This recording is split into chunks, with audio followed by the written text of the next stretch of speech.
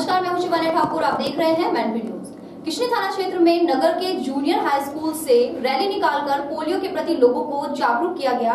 इस मौके पर प्रभारी चिकित्सा अधिकारी डॉक्टर प्रदीप गुप्ता भी मौजूद रहे। देखिए हमारे संवाददाता अमित चौक की रिपोर्ट।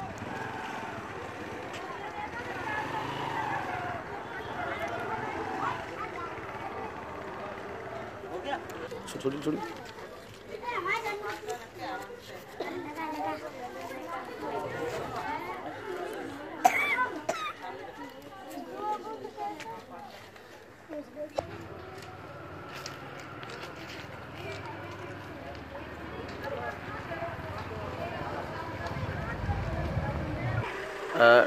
डॉक्टर साहब ये आज ये रैली निकल रही है ये क्या- किस लिए निकाली जा रही है?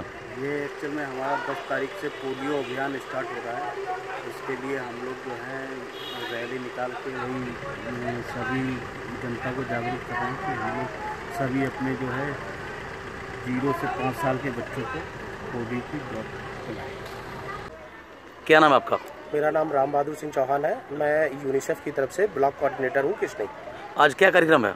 आज सर 10 मार्च को पोलियो राउंड है। उसी के उपलक्ष्य में आज स्कूल से रैली निकाल रहा हूँ इस रैली का उद्देश्य क्या है?